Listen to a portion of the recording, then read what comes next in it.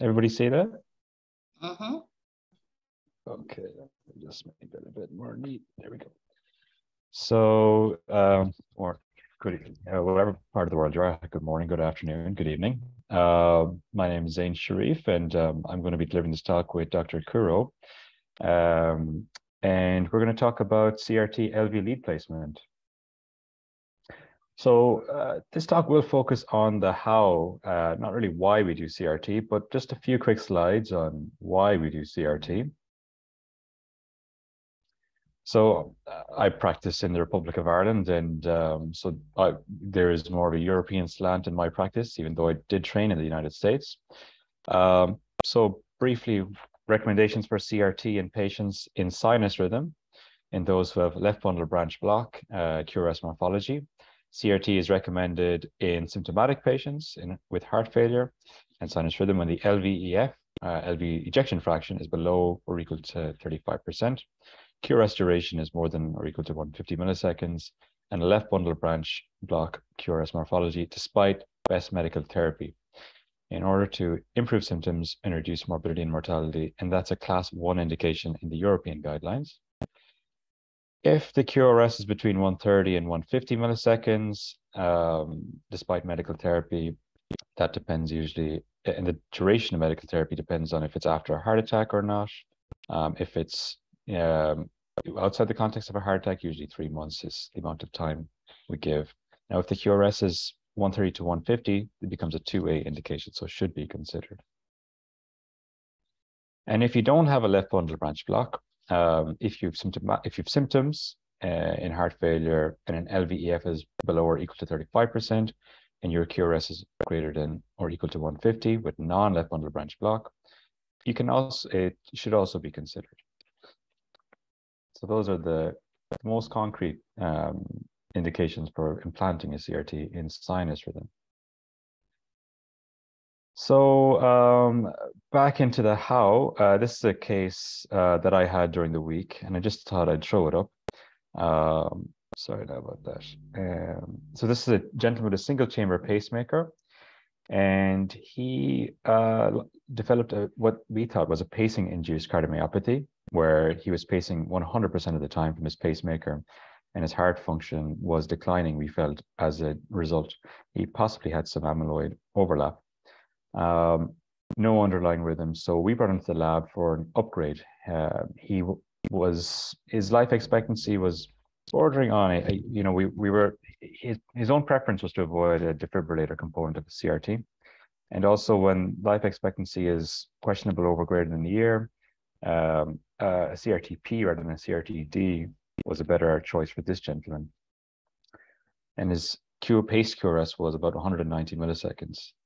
So we're going to obviously go to the talk and then I'll show you the end results um, in this case. Um, but this is um, us cannulating the CS and making our plans for putting in our CS lead next. Uh, obviously, one of the first things that you may see is that the balloon isn't fully opacifying this the coronary sinus, this uh, particularly dilated coronary sinus. Um, and again, we're going to talk more about um, how we may tackle cases like this. So I'll go back to this case again after uh, during the slide set. So planning is obviously very important. Um, ideally, we have a continuous ECG, uh, pads on the chest if we induce uh, ventricular arrhythmia or if we need to pace. Um, PSA cables and cautery if you have access uh, on the field. Usually start with a venogram to outrule a left persistent SVC and also to guide access. I usually get access with micropuncture and ultrasound guided axillary vein um, access um, following a venogram. But again, uh, there's different ways to get access, and I know there's already been a talk uh, on this topic. Uh, sheets um, to facilitate whichever uh, guide sheet you're going to use. Your CRT equipment is going to, you know, consist of your delivery sheath, uh, your sub-selectors, leads, guide wires, and a balloon to opacify the coronary sinus. And we're going to, again, talk to these um, as we're going along. And then I know we're going to be, uh, there's going to be a future talk on left bundle branch pacing equipment. Sorry, left bundle branch uh, pacing. And uh, I use left bundle branch uh, pacing as a bailout. Um, or if uh, there is no coronary sinus option, um, and there'll be future talks on this, which is an exciting field. And obviously, more data uh, is coming, and we wait that. Uh, and I think it's coming very soon at HRS. Actually, I think there'll be a few talks on it, maybe an RCT. Um, so uh, other general considerations with CRT planning, if they have a prior angiogram, a late phase of uh, the left angiography can be very helpful. I'll show one or two slides. Uh, and analyzing the echocardiogram, uh, if there's a big dilated right atrium, that might influence what sheet you're going to use. Um, obviously, antibiotic prophylaxis um, has a role. Um, how you're going to sedate the patient if needs be, and then if it's a device upgrade, you know, to identifying the, you know, the, well, doing a venogram initially, and also to identify the connectors that may uh, be needed on the day. Now, uh, Dr. Uh, Ekeruo, uh, do you, would you have any other sort of thoughts about planning cases with CRT or? I think the um, you've already mentioned like really the biggest things. Um, the most important, I think, is the venogram because I think that a lot of people skip that step. And the venogram, no matter how recently the other device was, if it's for a device upgrade, um, no matter how recently the other device was, you really do want to do your venogram because if you don't, you might be surprised when you open up that pocket. So um, that's really important. Um, but no, everything that you're saying is pretty much how I plan mine. Thanks very much. Totally agree on the venogram front. You don't want any nasty surprises once you open the pocket and you're trying to get down to the harsh. Um, so just we talked about very quickly if they had a prior angiogram, a late phase um, late phase images can be quite helpful. So this is a case where a gentleman had a diagnostic angiogram and you can see the shadow of the coronary sinus at the very end of the uh, the shot. And then when this patient came back for CRT, uh, you can see here that it maps very similarly to what the late phase showed, which is obviously not surprising. And it just helps in terms of, you know, going into the case, you know, if, if they may need a particular type of subselector or if it looks like a small or a large branch, what type of lead you may end up using.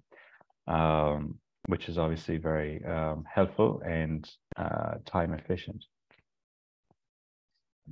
So um, obviously step one after, uh, well, we obviously get venous access and then we put our wires down.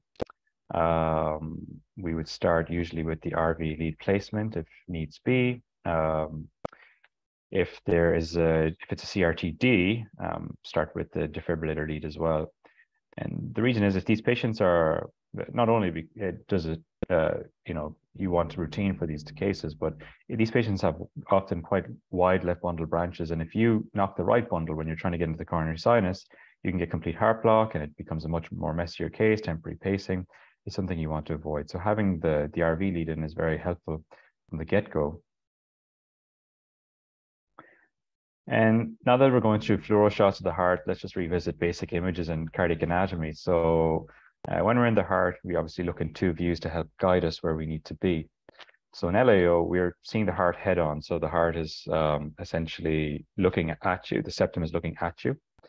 So you can see here in this um, in this alveogram. So the essentially um, the septum is going to be if your if your right ventricle is here, your septum is going to be right here in the middle. And then in RAO, you're kind of be going, to be looking right down the heart. So there's a better, this is probably a better sort of demonstration of um, when we look when we say LAO and RAO. So again, the heart is almost like an ice cream, like a reverse ice cream cone. And then in LAO, it's looking directly at you. And then RAO, you're looking kind of basal down at the apex of the heart. And that's also helpful when we're trying to see whether we've got into the coronary sinus, when we're trying to identify the different branches of the coronary sinus and guiding our lead down. In LAO, we can see um, if the septum is looking at us, we can see it's when we almost cross through the interatrial septum where we're not really crossing through it, we're actually going through the coronary sinus orifice, through the coronary sinus and over to the lateral side of the heart. And in RAO, we can see uh, our leads threading towards the apex um, from the base, and we can uh, almost identify the course of those coronary sinus branches a bit better as they course towards the apex. Um, Dr. Ekeruo, would you would you um, have anything else to add there, or in terms of um, when we get a venogram and we're looking at the branches? Okay. No, you're you're doing good. Alrighty. So this is when we're looking at LAO, as we said. So this is obviously our, uh, you know, kind of head-on shot in LAO. At this stage, we have our, you know, our RV lead, our atrial lead here. Our interatrial septum is going to be here. That's where the ostium of the coronary sinus is. We've placed a delivery sheet within the coronary sinus and we've inflated our balloon and we've injected dye. And the dye is lighting up our coronary sinus branches. Now, it's a nice view to see, you know, which how we classify our branches when we do identify them. So we have a posterior branches down below. MCV branch can or is off is seen um, quite near the orifice branching in towards the inferior portion of the heart. And as we start to go up, we have a posterior, posterolateral. So this side of the heart is lateral. Then we have a, obviously our lateral branches here. We go higher up, anterolateral, anterior. So the top of the heart is more anterior um, and um, down here is posterior. And as we continue, we get to the AIV. So this is very useful to see where the origins of these branches are. But we'd want to know, you know, just we obviously we want to get more than one view because we want to see um, how these branches behave as they go towards the apex. And this is when we switch to RAO. So like we said, we're looking at the base over to the apex. So as we've injected, you can see the branches course towards the apex, towards the apex and can give us a guide in terms of, um, you know, lead, which leads we'll select. Um, and also there is prognostic value of placing leads more basal and mid rather than towards the apex. Um, and again, there'll be more slides on that later on. So the next, so obviously we talked about the coronary sinus. So it's obviously before the tricuspid valve, uh, within the right atrium.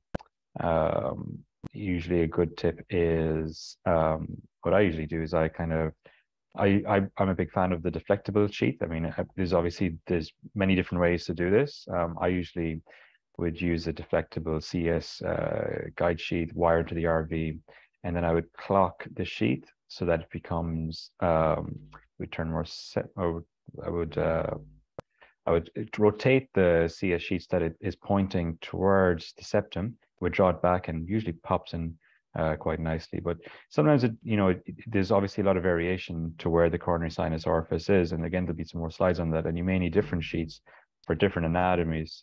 And um, again, uh, we'll talk to cannulating the CS in future slides. But this is roughly where the coronary sinus is, kind of where, where, where the intraatrial septum is before the tricuspid valve.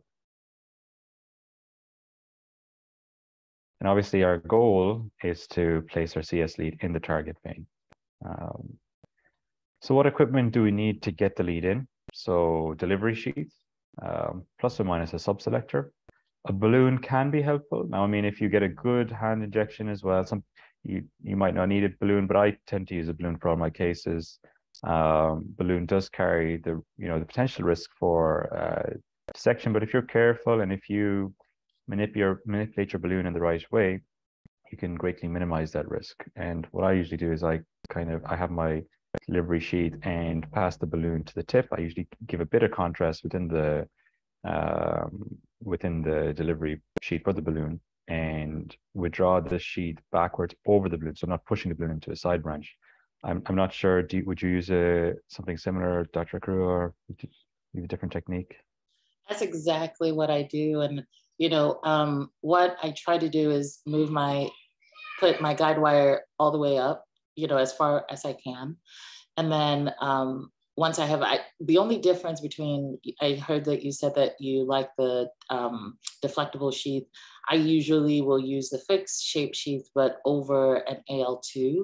Um, because I find that that catches that little hook at the end of the AL2 that on my last trip to Nigeria, actually two trips ago, um, Dr. Adafe told me, he was like the Amplatz left. And I was like, what Amplatz? We're using the AL2. And he was like, that's what it stands for. I was like, oh, there you go. So, you know, um, the AL2, um, it has that nice hook that just catches on. And, you know, um, depending on how big that atrium is, sometimes I have to use, rare cases, I've used an AL3 um, to have enough reach to get me there. Um, but once I do that, um, over capture the um, capture the CS off, then I put my wire over into the CS move my um, delivery sheath over that and go as far in as possible.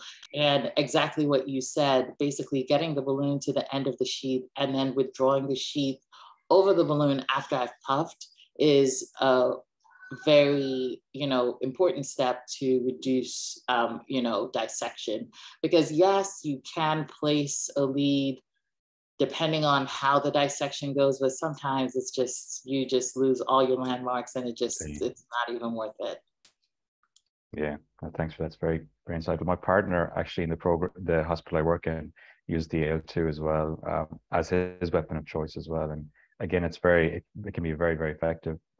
So yeah, there's it's um, really quick, Zain. Many different oh, sorry, Doctor Sh- mm-hmm. Doctor oh, Sharif. Uh, what uh, what wire do you typically use uh, for the balloon? So I, I have a mm. um, older rep that is insistent on using like an 024 or some odd shaped wire specifically for balloons mm. to avoid any kind of like beveling effect.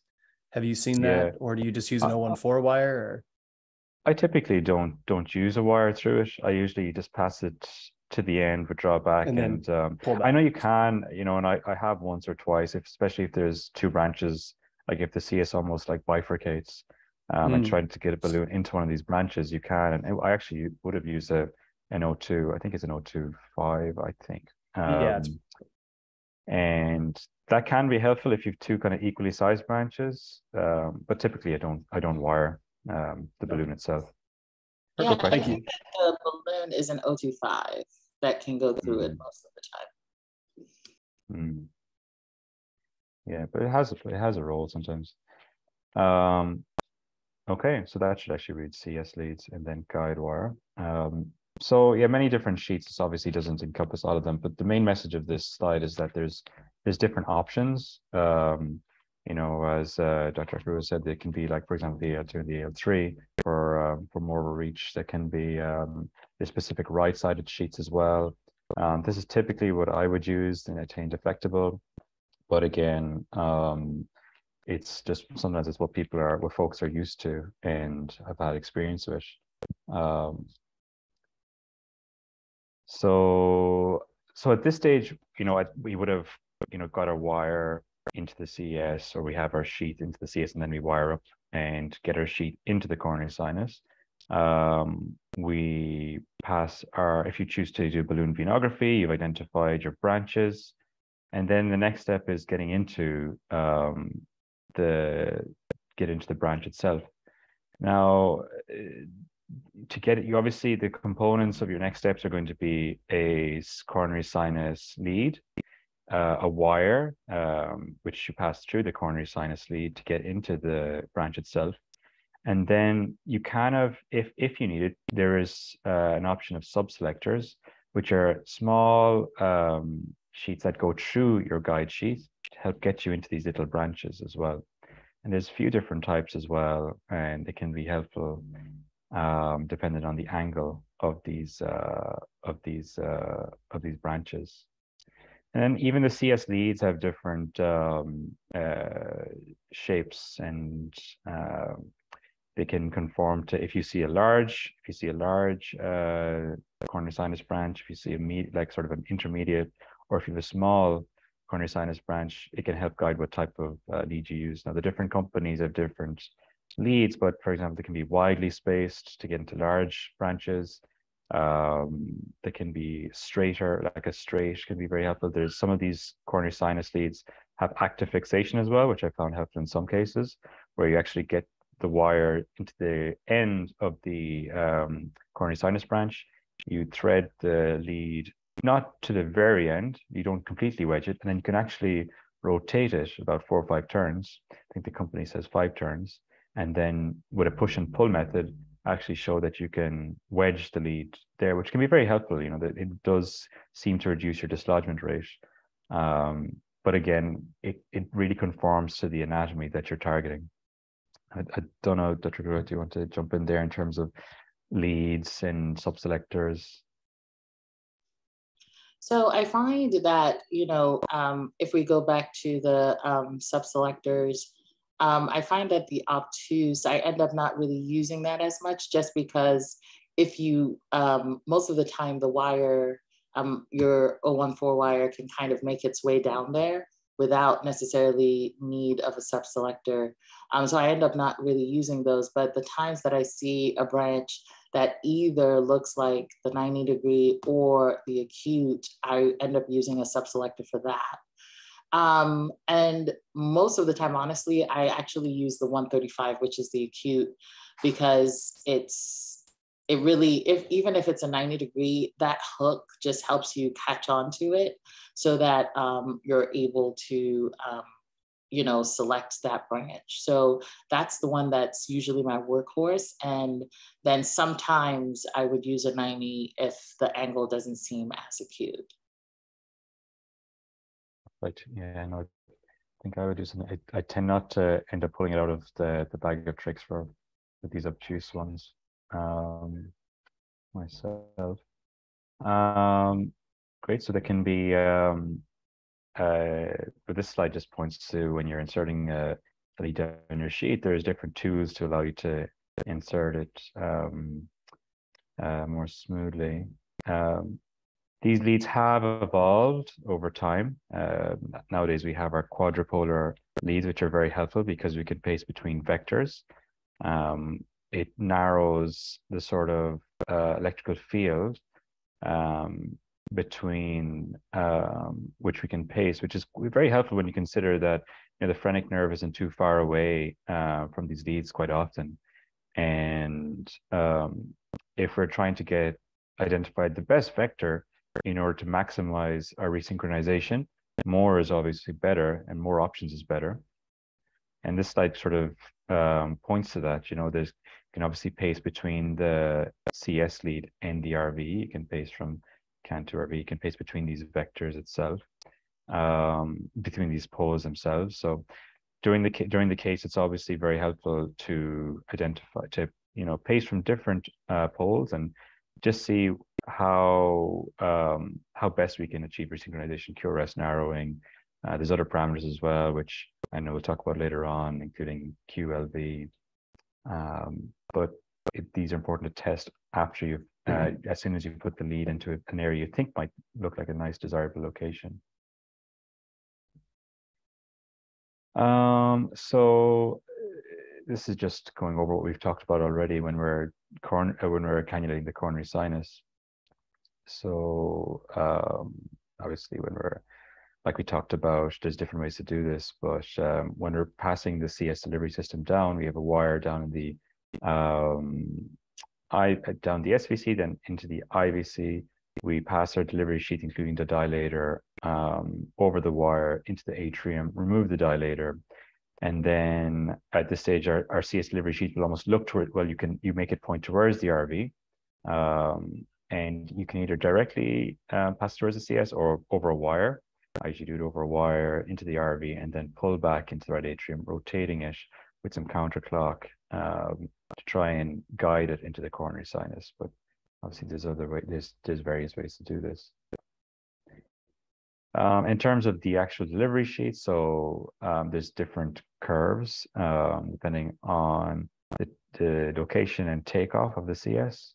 So you can have um, more steeper sheets as well if there's a, a, higher takeoff. And medium to large size right atriums, 135 multipurpose can sometimes be quite helpful. And then wider hooks as well if there's a more vertical takeoff of the CS can be helpful as well. There's also an extra wide um, option and many of these, many of the companies have right-sided sheets as well. Now on the of sheets, I know you've already talked uh, touched on already, uh, Dr. Ekeruo. Any anything else, or I think you've already covered this with your talking about the your your choice of sheet itself. And I think that um, because, so for the patient who has, you know, a dilated right atrium, I think it's really important to basically, yes, we try to use one size fits all. I think everybody has a workhorse that they typically use, but then there's sometimes you have to recognize that, oh, yeah, this is not going to work. And so that's why those first steps, looking at your echocardiogram, even looking at the heart that's in front of you when you're on x ray is really important. Um, and also recognizing that, you know, from the right side, it can be very difficult. Um, so using a right-sided sheath or a straight sheath when you're coming from the right is really um, important. Um, so just understanding your challenges before you go in can really help make the day go a little bit smoother. Um, one thing that um, is really important also to recognize is that, you know, for these patients who have heart failure, just the presence of heart failure, LV um, dilatation changes the relationship of the CS to the rest of the heart. And so what you typically will see is that the, um, um, the CS ends up becoming less funnel shaped, more slit shaped, and goes a little bit um, goes a little bit posterior. And so you really want to grab it and just be aware of where it is before you start forcing, um, you know, your um, wire, your guide wire through. So that's very um, on the ball. Um, and we'll also talk about anatomy when it comes to CS uh, origins and valves and whatnot, which can make every CS uh, different as well. It also that also um, your point also kind of speaks to the importance of the venogram, the right-sided sheath, pulling that out in the get-go um, is obviously the way to go if there's a right-sided option only. Um, okay, so once we get into the coronary sinus, um, sometimes a small puff of contrast can be very helpful to confirm that it's you know within the within the CS itself. And once you're in wiring up and getting your sheath in a bit, you know, not, so it's not just sitting right in the CS is is uh, very helpful. You don't want the CS to fall out just as soon as you're in. It's one of the most painful things that can happen to a cardiologist, electrophysiologist.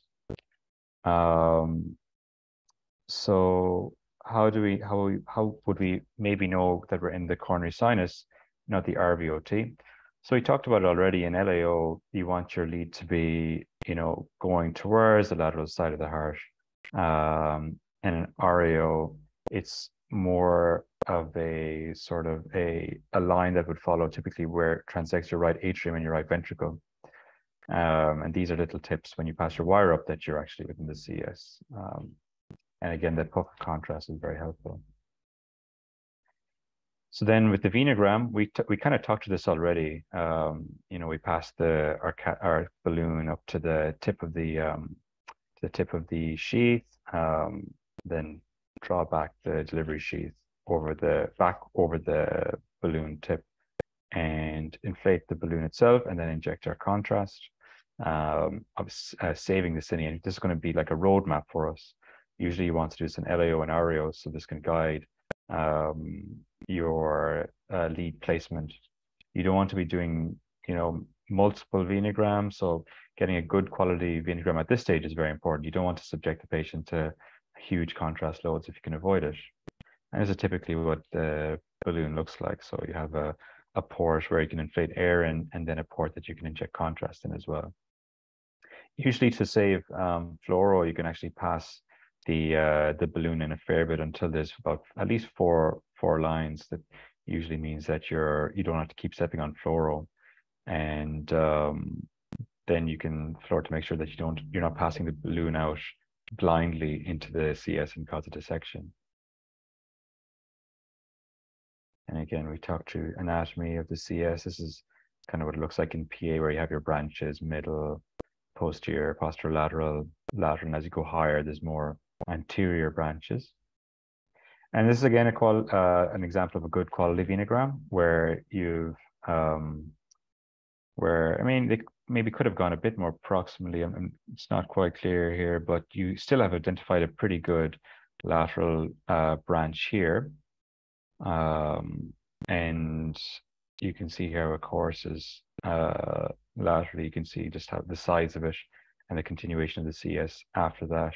Um, so this at this stage, getting an RAO and an LAO is very useful because um, it, you know both views tell you quite a lot of information. So then in in this slide, um, this again is in uh, kind of shows us the basal, mid, and apical um, sections of the CS. So this, you know, ideally we don't want to be too apical. Uh, again, there is some data to suggest that going too apical, you're not going to get as much of a benefit if you're mid. Um, but sometimes, you know, it's it's measuring that against stability of the lead and your your options as well. Um, I'm not sure you want to jump in there as well, uh, Dr. Ekeruo, just in terms of when you have your venogram and identifying, you know, um, what might be your optimal target? Yeah. I mean, I think that, you know, you said it correctly. You know, studies have shown that if it's the more apical it is, the less likely is actually um, to be helpful. And I think maybe some of that data might have been as a result of, um, you know, maybe a nodal stem. Um, I'm not sure because we don't really quite know as much of the um, the data the it wasn't as granular data as mostly like group data that they got. So mm-hmm. if you're kind of pushing the lead down as much as you have if the only thing that you have is a unipolar lead that was able to get all the way down there then who knows maybe that might have been a reason. I this is just me supposing. But um, you know nowadays we have so many different options. Um, the quad lead has given us, you know, so much um, that we're able to do now. So even if you are able to get a lead down and you have a big branch and your most distal lead is apical, that doesn't necessarily mean that's where you need to pace, right? Because you have all the four poles. So it really, um, the tools that we have now kind of make um, this a lot less painful than it used to be. Yeah, no, that's very interesting, um, and certainly um, those studies are, you know, are a bit of um, in the, you know, not not not yesterday, but um, having an L three L four option, for example, which is up here when you have your lead wedged here, is very different to only having, you know, your pole there as um, as you were saying. So that's that's a very good point. Um, so we did touch on this already, and we touched on this. So, uh, and again, we touched on that. So the different types of leads. Um, so again, there's different types of coronary sinus uh, leads themselves. And as well as that, there's different types of wires. And I don't think we've talked about wires too much. And I might touch on touch on that before I um, pass over the baton to my colleague here. Um, if you have, um, you know, there's different companies which do different wires, but there's stiffer wires and there's more uh, softer wires you might sometimes be in a quite a curvy, like a curvy, curvy um, sort of branch, and you might find it difficult to get the wire down and then your CS lead sort of to guide it over that wire towards it towards the kind of into a good stable position. Sometimes having a stiffer wire can be helpful in those regards. Sometimes actually getting a subselector in behind you and giving a bit more support can be very helpful. But sometimes a stiffer wire can sometimes open up the wire itself, open up the branch itself and allow you to thread your your lead down um, in a bit more of a controlled fashion. Now that's obviously weighed up against the risk of dissection um, because these stiffer wires can be a bit more aggressive. Um, but you know, for example, using a, a, wire like a mailman may sometimes uh, help open up options for you where a whisper might you know might not be doing the job. So no, having a knowledge of the different wires is very very important, as well as having a an idea of the actual CS leads themselves. So things like wider spacing might be better for long vessels that accommodate the large S curve and all its electrodes. Narrow spacing might be an option for smaller, more basal veins. And then there's options like a double bend for, for example, medium-sized vessels.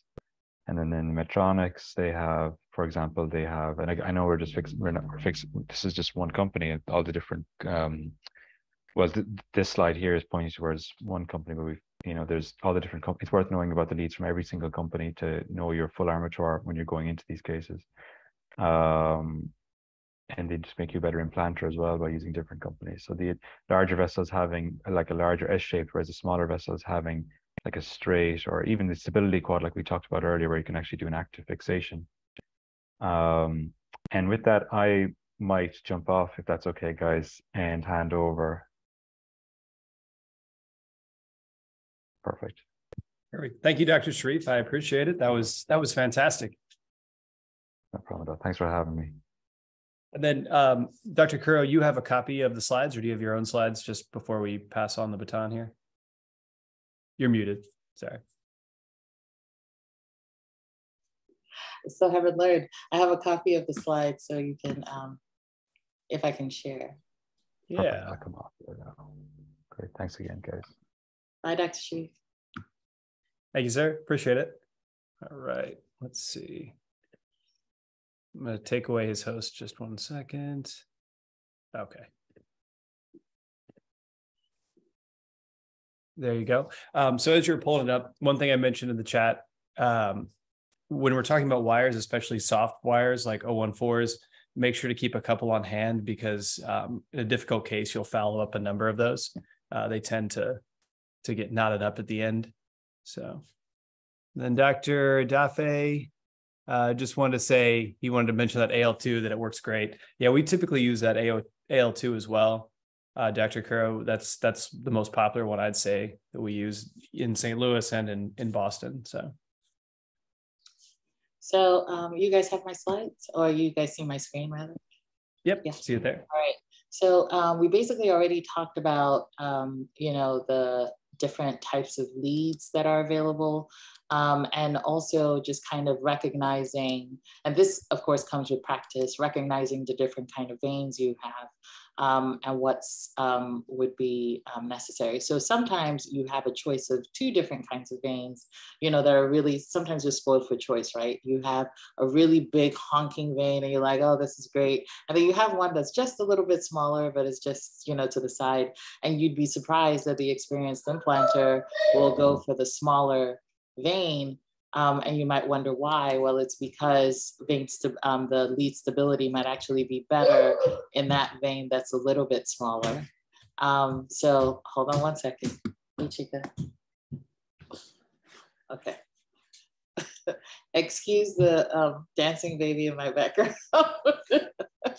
so um, so sometimes you might be surprised that the experienced implanter would actually go for the slightly smaller vein um, because of the, um, the ability or the, the, the stability of the lead, um, or the stability of the lead in that um, particular vein versus the large vein. I've seen a lot of large veins, a lot of leads come out of large veins by the time you split. And actually in one interesting case I had, as the heart was beating, we had it in there and we split everything and everybody's just watching. And as the heart was beating, it just went boop, boop, boop, out. so that was like, okay, so that wasn't the vein. I, I went for the easy one and I paid for it. But um, luckily we hadn't um, taken off the short sheath. So um, that was good. We just ended up putting it back in, which brings me to another point. So there are some folks who will, they're putting in the LV lead and they just go straight, instead of going with a short sheath, then the long um, guide sheath, they go directly with the guide sheath which you know can be you know yes you're not splitting an extra sheath but then in situations where you lose access that means you have to get access from your vein all over again so that could become a problem.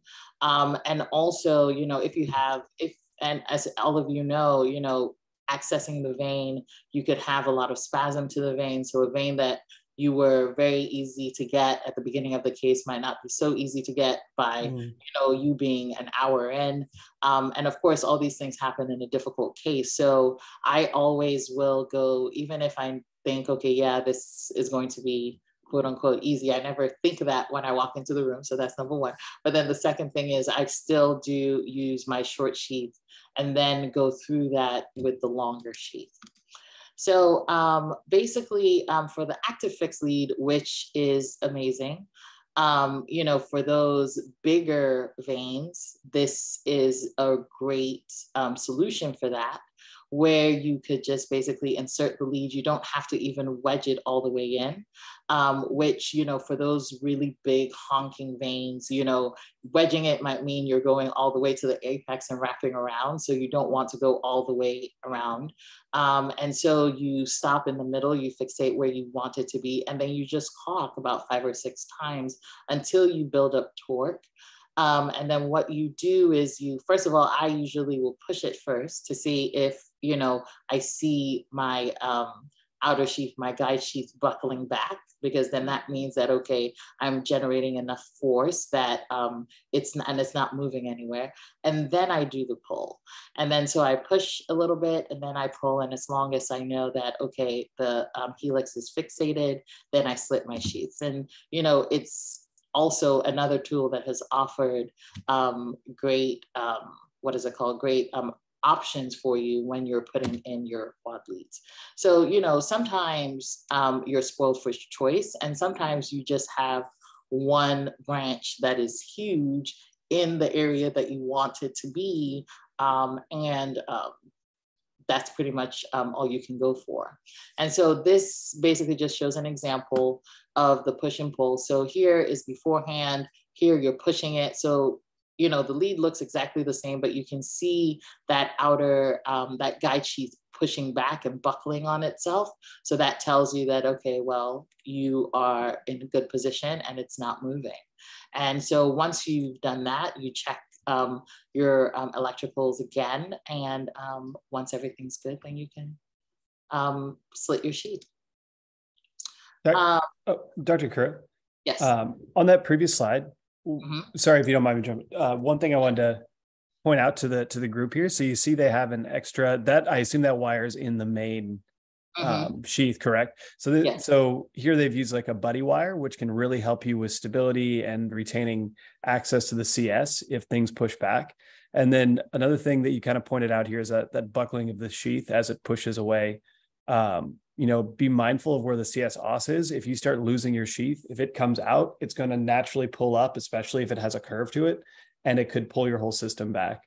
Mm-hmm. Um, I don't I hope you don't mind me chiming in. I don't want to do it when oh, Zain no, was no, talking because he was in a he was in a hurry, yeah. but we got a little more time. So no, no, no, totally, totally um, appreciate the um, extra help. Do you use buddy um, wires in your practices typically? I have not had to, so oh. it's kind of um, okay. I see. yeah i was like i don't know but like i've i've seen people do it i just haven't needed to. Mm-hmm. so i'm like mm, i don't know what to say. So um any other questions or any other comments? Uh, no so i guess we used to use them a little more in st louis um, and if you if you're using a large outer, if you use an inner, it really isn't possible because you need to have two French sizes with an 037 uh, mm-hmm. to fit. But if you're using just an outer, the inner diameter of your typical outer is eight French. So a buddy wire will, an 035 wire will fit beside your lead. Um, mm-hmm. so if you do uh, in your other practices um, to the rest of the group out here, if you do ever use one, it, it is an option, but it won't work through an inner. Through your outer, you can put it in the main body of the CS and bury it into the apex or as far as it'll go through the mm-hmm. AIV. And that way it just has an extra you know layer of support it can help keep your outer sheath from backing up and then if it does back up you may be able to run back up over it if you can sometimes so and maybe that's the reason why i end up not using it that much because whenever i am very quick to use an inner catheter inner mm. i'm very quick like there's yeah, some people yeah. who will say oh i'll just try i'm like no that's anything that's 90 degrees, like it looks like even 70 degrees or lower, I'm like, eh, just give me an inner and I go. Just an inner. So I, I don't it's, even try.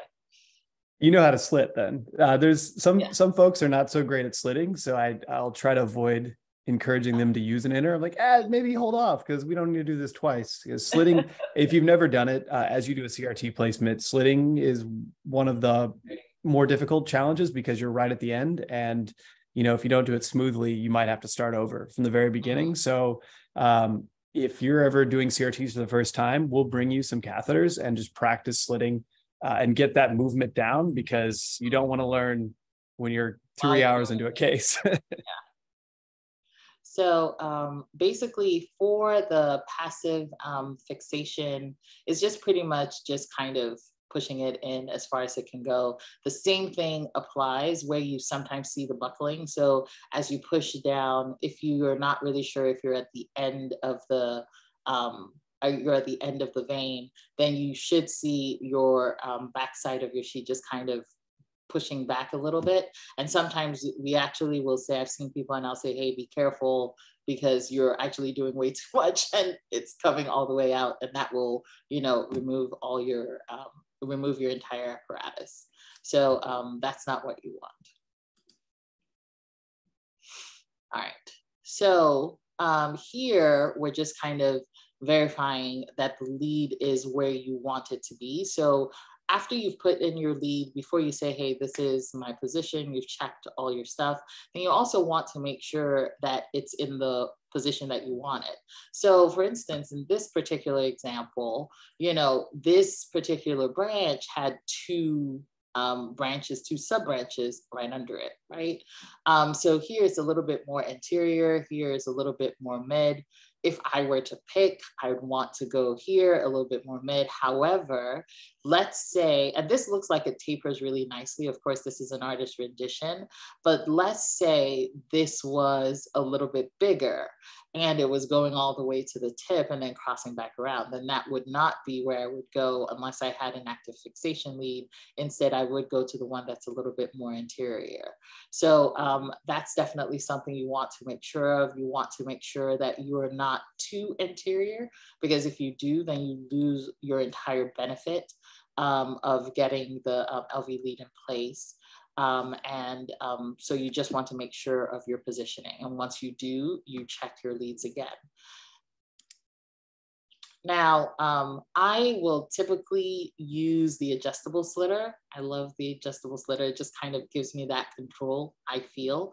Um, but the universal slitter, um, it's basically it's the same shape. Medtronic has one, St. Jude has one. Um, and I believe, I think everybody has like this type of slate shape. They also have an adjustable slitter for each one apart from St. Jude. I don't think St. Jude has um, or Abbott has an adjustable slitter.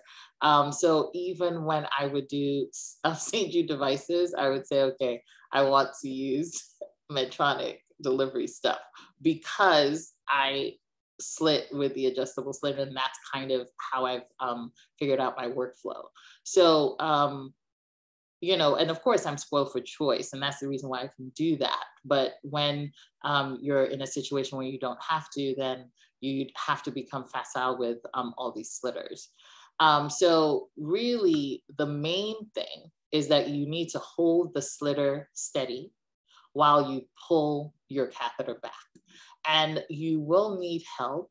You also need to make sure that nothing can catch the, the arm that you're pulling back, nothing can catch onto it um, at the same time. So things that can possibly catch on, sometimes when you have your clips um, at the end of the lead, when you're testing, you really need to take those off because sometimes they can capture at the end and then you're pulling and next thing you know, everything is all over the place and you can pull things and not really realize it. Um, so that's one of the things. And then also if you fixate your hand that has the slitter somewhere, so you might not necessarily fixate your hand, you might fixate your arm on the bed or something just to keep that hand steady. That will definitely help you while you're slitting. So the action is you hold this hand, you have this other hand that has the, um, the catheter and you pull over it.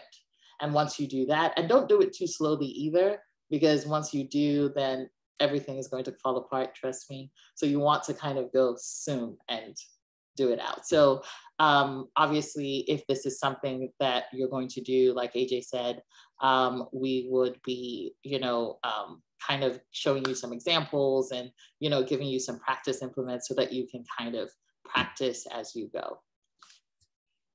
You might have a hop in real quick? Yeah. Yeah. So um, perfect uh, what you mentioned there about making sure nothing gets caught up uh, you really can't see it in this demo here in the picture but most of these sheets have valves on them so a good thing i always recommend is gathering that valve and putting it in your hand because it uh-huh. hangs off to the side and it can catch the drape as well it'll slow you down so just gather the valve get it out of the way and then yeah as you said one solid motion and you're going to be pulling I don't know if you can see me. Um, you want to avoid pulling it towards your chest because you may uh-huh. run out of length we uh, mm-hmm. I used to work with a with a bigger doctor, and he would pull it right into his gut, and it would stop, and then we the lead would fall out of the channel of the slitter or it'd get caught. So what can happen is the lead can actually get pinched in the slitter, and then you have to cut this piece by piece with scissors or start all over if it gets caught and pulls back. So you want to make sure when you're doing your pulling motion is you're pulling away from you, give yourself space. And it's like you're starting a lawnmower. If if y'all ever, you know, mow the lawn, you just you're pull starting it like that all the way through one solid motion, no pauses. Mm-hmm. yeah.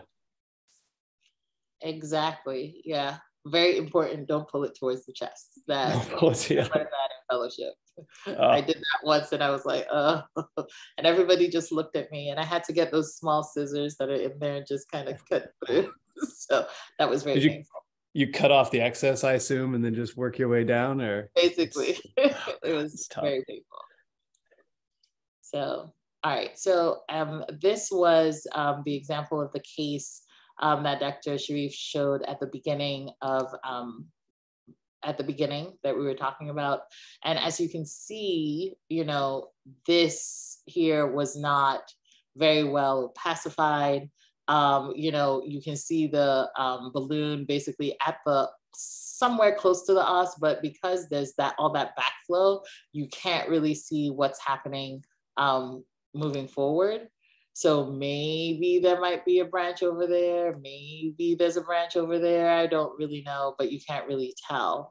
Um, and so what you would want to do is actually see if you can either blow a little bit more, um,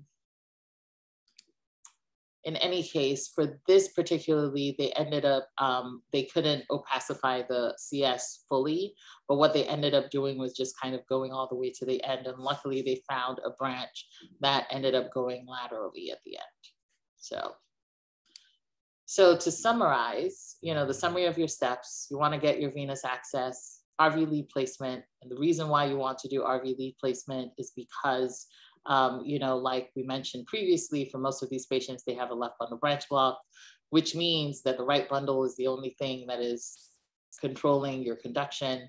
So if you hit that, which you have a high likelihood of doing when you're trying to find the CS, then that means that this patient has complete heart block for that brief period of time. So if what I typically will do is I will have my RV lead and I'll actually still hook it onto a backup rate so that at the very least, if I lose access, I, don't have to, nobody has to scream or say, ah, there's nothing there. you know, it's already pacing. And then we realize, oh, it's pacing. Okay, cool. We lost something there. But we're just kind of aware of it. But otherwise, there's no emergency. We already have backup pacing. Everything's already been prepared. Um, and then you cannulate your coronary sinus. Um, we typically do that by basically, I typically will have my outer sheath, um, well, my inner sheath, my short sheath will already be in the patient, obviously. Um, I will have an outer sheath. Through that, I'll have the AL um, two, and then through that, I will have a Wholey wire. I typically use the Wholey wire just because the end is so flimsy, it's able to go. The Wholey and the stork are kind of the same. I typically will, don't use a J wire um, just because sometimes you just need that little bit of, you know, going through because um, if you have somebody with really bad um, heart failure and that slit like um, um, CS um, os, or if you have a valve, then that J wire can kind of work against you. So the Wholey um, really does help. Um, and then it also, um, there's some folks who say to use a glide. I do not like using a glide for um, venous access. And the reason why I don't is because, you know, the glide will go wherever, wherever it make it will make a way, even when there's no way. so I tell people don't use the glide, especially for the vein. For the artery, it's kind of difficult for you to slice through the adventitia and all those layers. But for the vein, it's very easy for you to kind of go through the venous wall and then end up somewhere that you don't intend to and cause a dissection. So using the Wholey wire, using a stork wire should be sufficient. Did you want to say something, AJ? No, uh, that's that's interesting. So I I've seen a couple dissections, and I'm trying to remember what what wire we are using for that. And the does the glide come in a J tip, or it is a J tip, right? It's just a little more traumatic. It sounds like. No, well, they have. I think they ha- they do have a J tip glide, but they also have a straight glide. Oh, straight glide, yeah. Yeah. And so there's some folks who will use it and I'm like, oh, you don't want to do that. yeah. so I usually tell people don't. And then, um, of course, you know, once you cannulate the coronary sinus, you go in, you perform your venogram, select the target vein, um, and then place your leads. And so you don't want what I try to get people to do or to understand is, you know, you don't want re-accessing the CS to be the hard part of the case. Typically, the more difficult part of the case is actually getting your target branch. So the CS part, you should work towards your CS being or accessing your CS being the easier part of the case. Um, so that once you get there, then you can get to the difficult part. Dr. Duffer, did you want to say something? Yes, very good, Matt. Excellent presentation. In fact, you have made so many things so simple. And uh, thank you also. I remember last year, uh, that was in um, September, where you taught me how to use uh, the AL2. Uh, thank you very much, ma. Uh, two questions first. We have many questions, but let's start with two first because this is a hot topic, man. The two questions are, uh, first two questions are, in CKD patient, what are the precautions that you take? Uh, CKD here not, doesn't necessarily mean that the patient is already in dialysis. Um, some of our patients here, they may be having that uh, uh, creatinine that is hovering around 200, 300, and you don't want to teach them into dialysis um, what uh, what are the precautions you take from uh, from the time of access to um, you get your venogram and you finish the case? Then the second question I also have is on um, uh, if you have a persistent left SVC, what are the way, because I have encountered such a case, uh, persistent left SVC. Uh, what, how do you go about it, ma, uh, in your practice? Okay, so for your first um, your first question, which was CKD, um, yes. I will actually say that um, use as little contrast as possible. Um, and we got very good within the past year of determining how much contrast we used because there was a time when we were there was a shortage i don't know if aj you remember this there was a shortage of contrast um, because of covid and supply chain and all this stuff. And so they would tell you okay yeah for a cap you only had you know for for a whole hospital you had like a 100 cc bottle and people were like pouring out 10 cc's and basically be like there you go good luck. Wow. Um, so, um, but basically, what that ended up teaching you though is that some of the strategies that we already use for the venogram. So, I don't know how you guys do your venograms, but basically, doing the full contrast and then following that with a 20 cc push can actually give you such a good picture. So much so that now for mine, I actually I said, okay, how how much can we push this? Can we do three cc's and then follow it with a 20 cc push. What does that do? And it does exactly the same thing. Um, and for for those of you, you probably haven't used those yet, but the leadless pacemakers, we used to use like 100 cc's of contrast because we were filling up the um, tubing with contrast and then you realize, oh, I, I, would just use like three cc's and then push a whole lot of like 20 cc's of saline and it would give me everything that I needed to see. So realize yes. what you don't have to opacify everything. You just need to be able to see a shadow. But then the second thing is I you will typically see me use like a two-way stopcock, you know, even with the balloon, use like one cc and push it with um, saline and basically you'll see what you need. You just need to be on that pedal. So um, whoever is you know position yourself well make that one shot count that would be number one. The second thing is you know sometimes um, if somebody if we're really worried about contrast okay the main place that you will need contrast is for the cs so sometimes even for my access i won't use contrast for that for a venogram. But what I will do is I will get access before I even open up the pocket. And the way that I do that is basically, um, you know, with the patient still closed, basically using my landmarks and saying, mm-hmm. okay, just shooting for um, trying to get access. Once I do and I have a single wire down, then I use that as my guide for all the other wires. And the next ones, I don't do all three accesses outside. I just get make sure I have one. And as long as I have one and it's going to the place where it needs to get to, then um, I will make my pocket and then I'll do the other two through the pocket.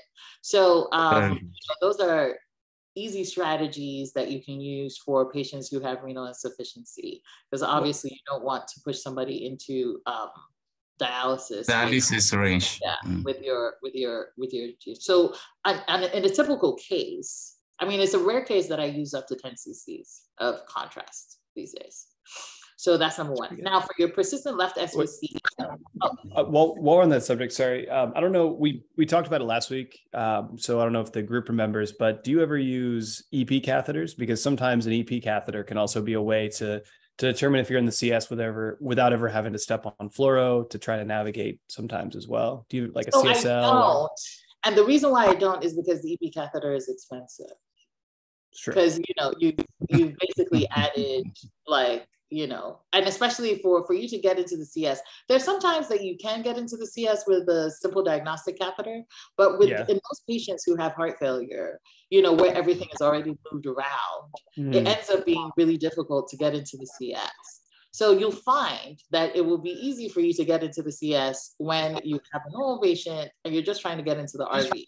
Then all of a sudden it's like, why do I keep on getting into the CS? That never happens with a patient that you actually want to go into the CS. And that's, that's because those patients usually have a smaller CS os, their left atrium is bigger. There's all these things that will limit your mm. you know access. So that's um, the reason why. And yes, it probably would be easier to do it with a um, CS with a with a EP catheter, but the EP mm. catheters that are adjustable that will reliably get you there are also more than you know a thousand dollars. Yeah, that's you fair. Really, yeah.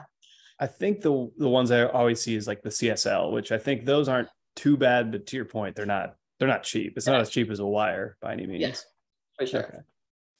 And then um, your other question was the persistent left SVC. So actually, the yes. persistent left SVC, you will get a CS lead there very easily because that's where it goes into.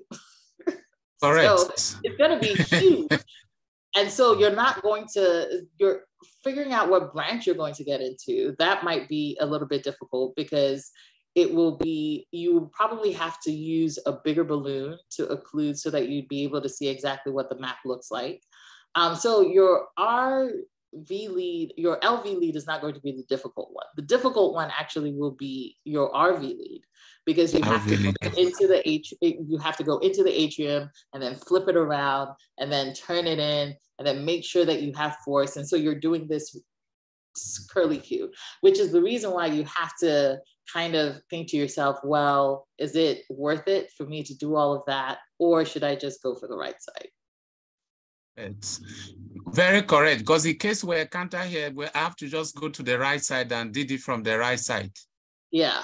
Because and then also and also for me, when I'm whenever I'm placing a lead, I'm also always thinking about extraction. So right when you put something into the a persistent left SVC, eh, extracting it is going to be, I mean, not that we're all hoping for extraction, but you never know. And then if you have to extract it, that will be a mother to do. And so you just that those are the things that I'm thinking about. So usually like if I have no choice, like I have a patient now who, whenever she needs a pacemaker, she, that's going to be her only choice is her persistent left SVC because she actually doesn't have a right-sided SVC. Is right-sided is like it basically goes into the um, azygos and then comes back down. So she really doesn't have one. So um, for her, if she's going to get a pacer, either she's going to have to get a leadless pacemaker or she'll have to get it through, you know, her persistent left. Um, so there are patients that are like that, that you have no choice. But um, otherwise, I would go to the right. Great. Thank you very much, man. Then I add again, you know, I keep thanking you for what you did teaching uh, teaching me on how to use the AL2 uh, wire, sorry, oh, yeah. AL2 uh, diagnostic catheter. And over this time, yes. So we have also learned how to use uh, the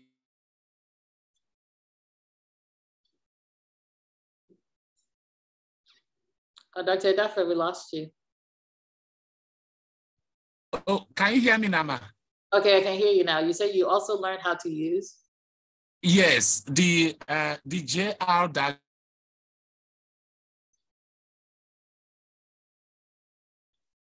Looks oh, like we lost you again. Yeah. Dr. Crow, uh, do you mind if I take control and I can show some of the catheters that we're talking about? Sure. Okay, perfect. In the meantime, um, so we talked about, have you ever, uh, it sounds like you don't have a lot of trouble with this stuff, but have you ever uh, done groin access to get into the CS or? No. Okay. I try not to. Because like the reason why is because, you know, like I'm fanatical about infections mm-hmm. and I do not want there to be an infection in the lead. So I try not mm-hmm. to mix the two. Um, there are some cases where we've had to go groin and, you know, and but that's mostly for patients. I had a couple of cases recently where the patients um, had occlusions, venous occlusions. And mm-hmm. so the only way that we could open up the groin was um, open up the venous occlusion was by going through the groin. So, um, and we did this really cool thing um, that they're going to present at some CRT somewhere somehow. So once they get all the slides together, I'll show you guys. It was really cool. But um, there was basically a way where we were able to get access proximally. They put it in a balloon and then they pulled the wire down. So it was, it's, it's cool. It's really cool. They call it, he calls it the Dr. Rain, who's a interventional cardiologist with us. Um, he calls it the harpoon technique. So um, I think they're going to present it um, hmm. at some interventional conference, but they haven't gotten the slides together. Once they do, I'll definitely come back here and show it to you guys, but it's really cool. But um, yeah, that's the only time that I have actually done that. The rest of the times I try not to mix the groin and the heart, even though technically it shouldn't, everything should be clean, but there's just something about the groin, chest, don't want to do it. I get it. It's not the cleanest area too for all of our patients. So, um, yeah. So we've done, have you done a snare before? Like, so we've done snare yeah. techniques. You have, mm-hmm. those are always interesting. Um, so I don't know. I, am sure that, oh, Dr. Dafe's back. Yeah, I'm back. Sorry. it's my network. So no I was saying, yeah, I was saying that uh, we have also learned how to use uh, the JR uh, diagnostic catheter. Uh-huh. so, uh, and also the Lima. So we can start a case with the Lima uh, to get the coronary sinus. If we try like one to two minutes, if it's not working, we change over to uh, to either a JR or we just move straight to the AL2 and the results has been very fantastic. So that is makes it more very expensive. No, it's not. So why not it's just the same price? The AL2? why are you making yourself suffer? because I can bet you this, you will get it 100% of the time with the AL2. Yes, you are correct. I have never seen somebody say, you know what, I didn't get it with the AL2, let me try with the JR. Uh, yeah, yes, it's from JR before you move to AL2. AL2 is the final arbiter. Don't if use there it as the final. Use it as the first, man. You're wasting time. have you yeah, ever? Very good. Mm. Have you ever seen uh, the Jacky before? Doesn't the Jacky kind of look like the AL2? No, no, the Jacky's the one that, yeah. That's the Jacky right here. Yeah, that's so, the yeah, one that um, that, that is the Jacky, okay from the from the for the wrist, right? Yeah, a it's a radial. I think it is a radial one. We actually yeah. will use it. Um, so I, I prefer the L2 because you can deliver through it if you need to. Um, the Jacky mm. you cannot. Obviously, it's just a wire only. But sometimes if they have a, if you need something a little smaller, you can use the Jacky. And one thing that we've shown here is you can telescope these um, these catheters, so you can actually put an inner catheter like a Jacky into an inner, so then you can work your way in, you know, get the Jacky into place, then run your inner, then run your outer. So if you have one of those problems where you almost need to dilate up or telescope your way in, you have this additional support system as well. Okay. Uh, Dr. Joma, this, uh, this straight uh, coronary uh, sinus catheter, I have not used those one. I only use the curve one. So those straight one, under what condition do you use them? I, I do see the right-sided. Okay, good. So basically, for only the right-sided, mm. yeah, yes. that's where I've used them. Is mm. mainly mm. for the right-sided just because you know coming from the right side you don't need as much of a bend just because of your ankle. yeah um so i usually will use the al2 like over it'll be um over an al2 and then um you know because if you use the others it kind of kicks you out so just yeah. using a straight basically delivers you where you need to be hmm. can, can you go back to the next the, the, the slides before this this one or the, the Medtronic the, ones? The slide before this one. Yeah, I think it's that one. Yeah, no, not this. this yeah, this one. This uh, smaller one down. What's under what condition do you use it? The last on the down. No, down, oh, down, down, down. I have no, no idea. I don't know. This last one. Uh, I I can't see. Sorry. They, they are smaller. They are not uh -huh. as uh, uh, bulky. They are uh -huh. smaller and uh, they look they look as if they are almost the size of the of the inner slit if you are using if you are going to slit twice this smaller one down yeah this last one down yes yes that one here yes. that looks like a right to me what do you think yeah that one looks like a right if you look um, at the like a right okay. yeah yeah and so um, I don't think of. I think that they just did that for style purposes. Isn't I don't yeah. think, I think they're all the same size. Mm-hmm.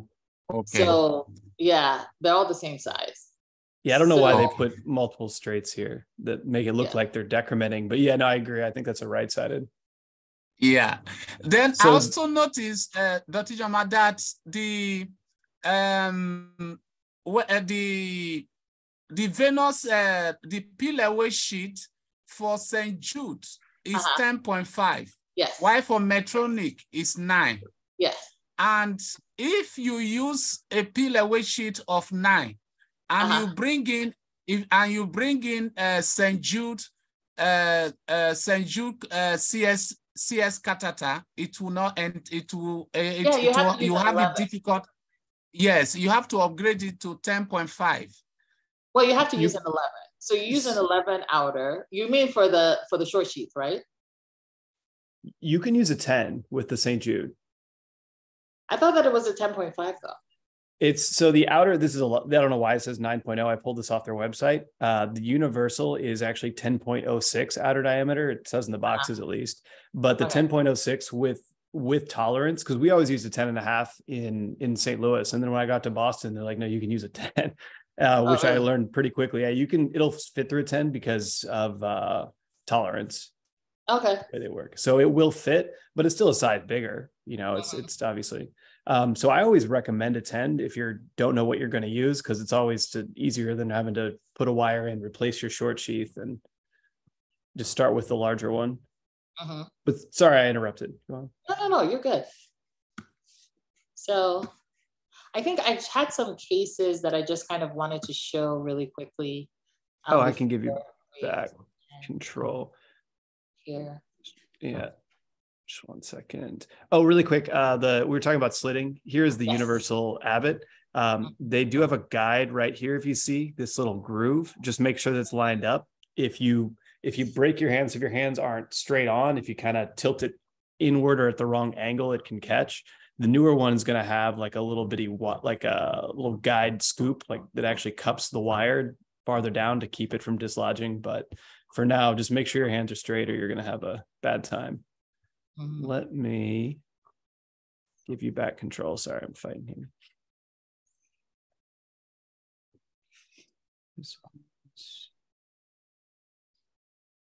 Okay. You are now the host. All right. So let's see. All right. So I just wanted to kind of um, show a few cases of some mm-hmm. challenging ones. um, there was this was a guy who has a history of um, like a non-ischemic cardiomyopathy, and then you could tell kind of that this was going to be a little bit difficult because if you can see, you know, so this is the AL2 and it's gone in, and then it kind of goes down and then goes up, and so our issue here was that it kept on. We could not move this across at all. Like this was the extent that it pretty much stopped. So trying to get it in, um, we were not able to. Um, and we tried that for hours. Um, and these are like different pictures. And this is where we ended up with this case, where we ended up having just a dual chamber um, at the end of it, just because um, we weren't able to get up into it. Um, my hospital has changed um, system. So unfortunately, I wasn't able to get a full, the full satisfying, you know, results of this. But basically, this is the same gentleman um, who has his dual chamber. And now we came in trying to do the, um, came in again after a while to try to do this um, LV lead um, because he had really bad heart failure, biventricular, um, and a huge left bundle. And so the idea was, okay, what can we do to help this guy before going into transplant or anything like that? Um, and then you can see here that as we go in there, look at all these branches, so small. Like he has like pretty much nothing, right? So here you can see everything is anterior, it has some stuff up there, but there's this one down here, which kind of trickles into the lateral wall. Um, and let me go here. You can kind of see it here. So there, where you can kind of see this one going across. And that's pretty much where we ended up putting in the lead. Um, but it just ended up being just such a um, cluster. And um, second case that we did, we actually had to use a Worley vein selector. Um, so the vein selector um, is similar to, I think um, for those of you who do interventionals and do, um, Dr. Deffa probably know about this, um, where you have your sub-selector sheaths and you have your glide sheath. Basically, it's a small sheath that you can deliver a wire through.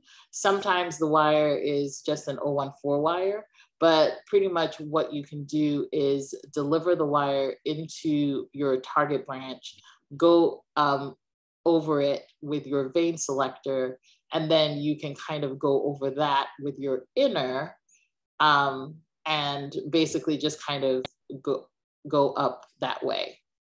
So um, I'll use this example um, in this patient who had a pacing induced cardiomyopathy um, where we were able to, you know, the best branch that you could see was this lateral branch here. And I don't know if you guys can appreciate that bend over there here where it's yeah. very difficult, you know, to get through. So if we had gone up a little bit further, you'll see that that actually made a curly Q back. Um, and here you have a small dissection there, but that's where the branch is, right? So we end up having to, um, let's see. So we end up having to use our vein selector. Let's see here. Yeah, so it's kind of going to come through here. Um, we end up using our vein selector. Unfortunately, I didn't really take a picture of it, or I did take a picture, but they didn't save it. um, these other branches were just too small. We couldn't really put a um, lead through there. We tried and could not. Um, and we ended up putting this lead into that branch um, and ended up being um, a successful case where it's there's good lateral um, movement or lateral placement of the lead. So pretty much the way that we did it was that we used the um, the vein selector, put actually a Wholey through that. Um, went up there with the vein selector. Once we were able to select the vein, then we put the Wholey down, took out the vein selector, went there with a straight um, subselector over the um, outer sheath, um, and then put the straight, um, the subselector down, took out your um, wire, and then were able to deliver the um, lead through that. And um, I think that was it pretty much. We have a we had a few more slides, um, but it's just basically kind of talking about how you can use the subselectors and how they help you um, once they actually give you access to the vein itself. Um, and when you are withdrawing or when you are trying to slit this, you should actually pull your subselector back into your main body of your sheath before you mm-hmm. slit um, mm-hmm. so that you're not putting too much force on the lead itself. Um, remember that, um, you know, there are your phrenic nerve kind of goes around that lateral wall where you're trying to deliver your pacing lead. And so it's not unusual for you to have phrenic stimulation. So you always want to test for that. Um, and then the final thing we were talking about is the QLV. So basically, um, this was a method um, that was um, discovered, or it was one of the ways that you look to see what the best branch could be. I mean, obviously, people don't really do this, but when you have placed your lead, measuring the QLV, which is the measurement of the QRS to the peak on the LV EGM, um, if it's greater than 100 milliseconds, then it can actually show you that there is um, going to be a better um, prediction of response to um, biventricular pacing. So you have here two examples, you know, number one and number two, this particular um, patient or this lead placement is will probably be better for you because pacing here would have a better response. You have synchronized the heart a little bit more than you would with this patient who just had a 90 millisecond QLV. Um, of course, this assumes that you have an abundance of choice um, so most of the time, what you're trying to do is just trying to get it where you can. But um, if you do have two leads and you have the time and you're able to get into them, then maybe trying to figure out a QLV will definitely help you, particularly in those patients who have um, a really um, bad heart failure that you're trying to um, improve um, their heart function. I, I think it also works for um, selecting your cathode as well. Um, mm-hmm. so once when you're trying to optimize later in clinic, or you know, uh, as we're as you're closing up us in the programming side, um, mm-hmm. so there are different algorithms like um, Auto Select and Abbott. Uh, I'm sure Medtronic has an equivalent that do a surrogate of QLV, but mm-hmm. QLV is always something you can run as well and see where's our best best cathode, and then see if it's a viable threshold as well. If there's phrenic nerve stem, things like yeah. that. So this just talks about. Oh, I'm sorry. Yeah, Dr. Keru, sorry, sorry, ma. Can I take you to uh, take you back to the first case you just showed? First case. Yeah. Not this one. This one. No, the first. Yeah, the first case when um the guy with uh, uh, ischemic heart disease. Uh, yeah, mm. this is a case. This is a case. Now, uh -huh. in this case, in this case, do you think that um, options like uh, ROBB and LBB pacing, can it be an option here? Then two, uh, surgical um, epicardial lead, uh, lead placement, can it be an, also an option? For example, um, we have the ROV lead in, and also the uh, ROA lead in, then inviting the surgeon, uh, because of the difficulty, inviting the surgeon to place uh, epicardial lead of, uh, that is the and epicardial lead. Can it be an option here? Oh yeah, for sure. Like that is always our last option. But the thing is, you know, placement of the LV lead is still somewhat of a, like a, you know, not a sternotomy, but basically you're doing cardiac surgery, you know, yeah. the procedure. And so it's still major surgery. So, and in a patient who has really bad heart failure.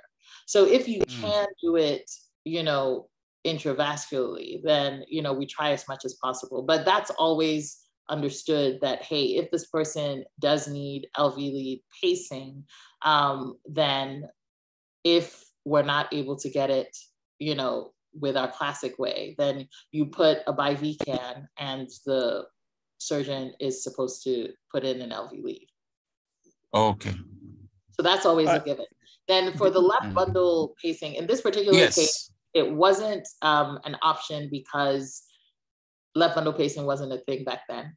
Um, it's interesting because left bundle pacing is not possible in everyone, right? Um, the idea is that, but that you know you're able to capture the left bundle and you're able to use that conduction system. But sometimes the block is not at the level of the left bundle. Sometimes it's below that. Sometimes it's even at the level of the muscle. And so you're not really able to cause synchrony because the idea is that desynchrony is contributing to the heart failure and resynchronization is able to help. So sometimes even you doing a left bundle is not going to help because the your your block is below that. Noted. Thank you, Ma. Dr. Curl, for your um, for your surgical LV placement, do you have them placed two typically? Yes. Or okay. Yeah. usually have them placed two. Because I mean, there's so many times that you'll have um, situations where they'll lose capture. I, I don't know what happens in the pericardium. It's as if there's something going on and it just kind of, you know, your thresholds go up and then or it's just lost capture. And so you you you're better off with another. So it's kind of a pseudo quad lead ish yeah get options. Uh, yeah, and just for everyone else's knowledge for those bailouts you will need a different uh, can. So you'll need a bi a bipolar, bipolar. lv can which yeah. if you don't have a lot on hand i will tell you you're probably going to get more quartet cans but we can always work to get you one if you have a planned um, case. So just let us know Mm-hmm. Yeah. So, um, yeah. I so basically. Oh, this is a complete distraction. Is about slitting. So if you have something else, I, I just had a oh. question for you. Uh, do you do for your slit? Do you do? Is it? I think it's the Worley method where you set up the table and you you set up the table uh, parallel or um, perpendicular to the patient, kind of like with with their arm would be, and then slit that direction or what's your typical slitting angle i guess? So what is my typical slitting direction? I don't know if you've seen that technique where they that you'll actually roll a table in and they'll like stretch it all out on a table oh, and no, then turn you turn like towards the patient's head and slit that direction. I don't know if you've ever done that. Mm, well what i do is mm-hmm. okay let's say the patient the patient is in front of me we're doing all the things, da da da da, patient is in front of me right here. Mm-hmm. So I will have my my right hand is typically the hand that I will hold the slitter in. So mm-hmm. I will put the slitter, put everything, and then go through um, the header with it. And then with my left hand, that's I pull back. Mm. So I don't know what method that is, but that's basically what I do. Okay. Yeah, there's there's like a whole new table method that people started doing about two three years ago. That uh, if you have a technique for slitting, just use that technique. I would say for for people on the call, you know, once once you get it down, I would just say use that technique, whatever works best for you. Um, but yeah, I didn't know if you'd ever seen that. It's, it's no, I haven't. No, I'm about to I'm about to Google it. I think it's like the Worley method. Like I don't know, Seth Worley is he's branded everything pretty well. So I know he's like I was like, what is this? The Worley tool, the Worley method. Okay, which Worley method? I think, I think that's what it is. I'll, I'll find it. Um, Wait, it, put it in the chat. But um, yeah, so um, you know, this is pretty much like kind of um kind of you know a, a route to like okay if you have a difficult cs cannulation like what you should do sometimes looking at things in different views can definitely help um, using different guiding catheters. There's so many times that I have been using a standard and then I get one that just has a little bit more reach and all of a sudden everything becomes a little bit easier and it's like oh this is what i've been missing. Um, that's helpful. Um, using different wires. And so you know your i mean you guys are more I, I think better used to the wires than i am and sometimes I ask for the help of my interventional colleagues. Hey, look at this. Do you think there's a wire that you can suggest that would actually help things out? And um, because I have seen stiffer wires, so for the um, for the lead wires, I typically will use a, a simple whisper wire. Um, but you know, there's the Whisper Extra support that's a little bit bigger. Um, there's a little has a little bit more support. There's the BMW, um, which is like the balanced middleweight. Um, and then you have, you know, the Iron Man and, you know, Terumos and all of those ones that are really like, they sound very strong, which um, I typically won't use. Number one, a lot of times they'll give too much support. You, you still need a little bit of flimsiness with the lead um, mm. to be able to steer it to the right place. But if you get the right wire, sometimes even those bends can actually be straightened out with the wire and you end up mm. putting your sheath in a little bit easier. So just kind of trying to figure out, okay, based off of what you have in front of you, um, you know, once you do your venogram, trying to figure out, okay, your next step um, would be really important. Um, and then using, don't not being afraid of using an inner sheath. You know, the inner sheath can be your friend. Um, the use of um, the AL2 is definitely helpful. Sometimes if you cannot, you know, get into the CS, then actually doing a coronary um, you know, a coronary um, shot and doing a late phase will actually help you in those ways. I haven't had to do one for years, but you know, in one patient, it was kind of really helpful.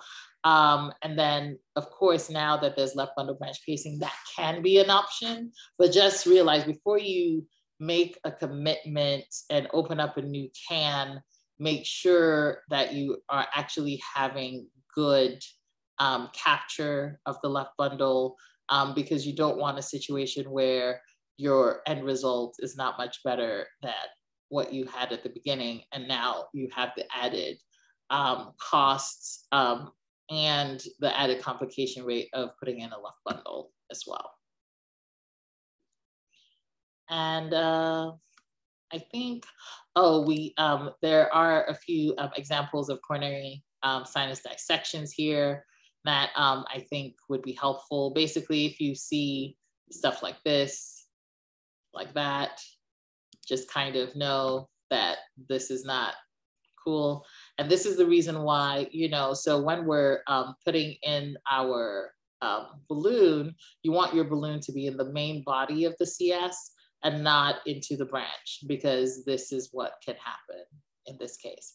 So in this particular patient, they were able to um, place the um, lead through that, but sometimes everything just closes down and you're not able to do anything. And then sometimes, in rare cases, a CS dissection can cause a significant pericardial effusion.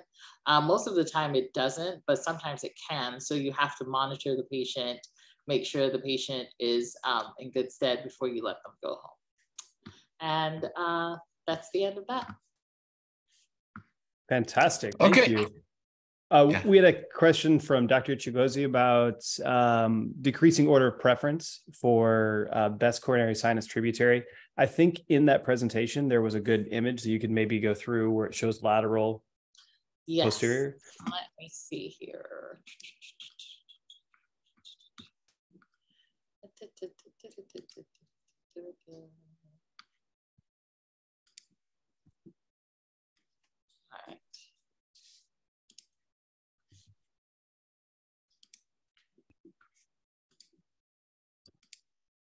So I think that this was one of the um, one of the screens that we had um, that showed the different tributaries.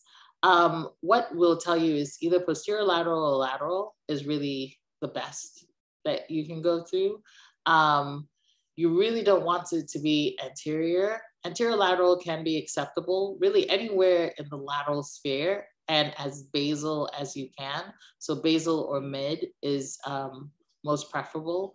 Um, nowadays, like I said, mentioned, because we have the quad leads, um, we end up either in the basal or the mid um, just by um, just because of the by virtue of the number of poles that we have. Um, sometimes you have to jam it in and you end up with kind of a lead in the apical, um, but in the apex. But the rule is the closer it is to the RV lead, the less you want it. And so posterior lateral lateral would be your um, highest ones. There's sometimes you can go through an MCV and it'll end up lateral. That can be um, a good lead for you to do. So as long as it ends up being um, as lateral as you can, that's pretty much where you would want it.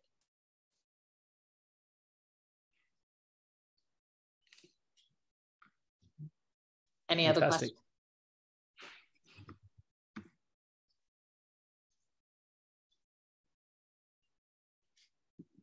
Okay.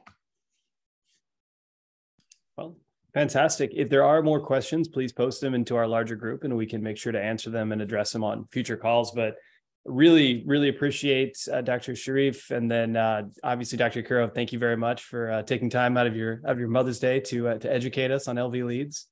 And um, yeah, this is really enlightening. So we appreciate it. Thank you all.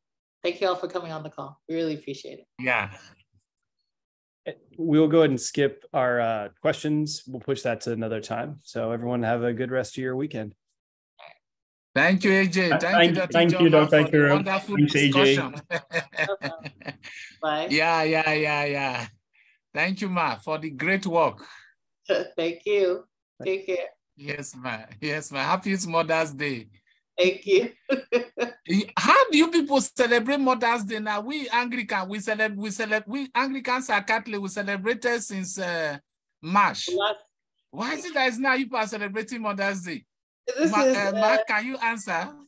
this is America. I don't know. Is it only America? Is it this late? I'm not sure. I think it it's, is. I don't even know. It's Rwandan Mother's because Day too. The, oh, the, the, Roman, yeah. the Roman Catholics and the Anglicans and uh, many other Orthodox churches, they celebrated their own uh, March. Well, yeah. I only know that when, so this has been the excuse when I tell my, uh, when I don't tell my mother Happy Mother's Day. She's like, you didn't tell me Happy Mother's Day. I was like, it's not the same in America. so, so now I have to call her today yeah. but uh, well, see you guys later. Take care. See you later. Enjoy your yeah, weekend. take care, man. Enjoy your weekend. Thank you. Yeah, thank you. Yeah.